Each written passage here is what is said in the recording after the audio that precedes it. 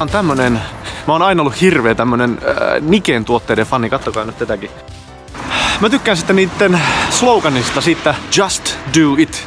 Se on makee. Siinä on kolme tämmöstä niinku komponenttia, semmonen kolmen komponentin loitsu. Ryhdy hommiin, just do it. Älä yritä tehdä täydellistä, koska sopivaa hetkeä ei tule. Ei näiden videoiden tekemisellekään. Ei näillä koskaan sopivaa hetkeä. Just. Ryhdy hommiin silti. No sitten do. Do on tietenkin sitä työn tekemistä. Työstä puhuminen tai työn ajatteleminen, niin ne ei vielä niinku riitä. Pitää ryhtyä oikeaan hommaan pistää sillä niinku kunnolla homma käyntiin. Sitten sit se ei ole silleen, kato, että sanoo silleen niinku lakonisesti, vaan just do it. Vaan se silleen, just do it! Silleen niinku, että mm. Oho, karkas vähän lapasesta nyt tuo.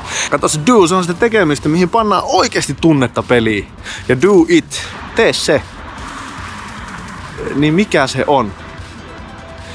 Niin tätä hirveän harva miettii, mikä se on se mun juttu. Mikä on se tärkein asia, että jos vaan tämän asian tänään saisin tehtyä, niin mä olisin ihan helkkarin tyytyväinen illalla. Että olipa hyvä päivä.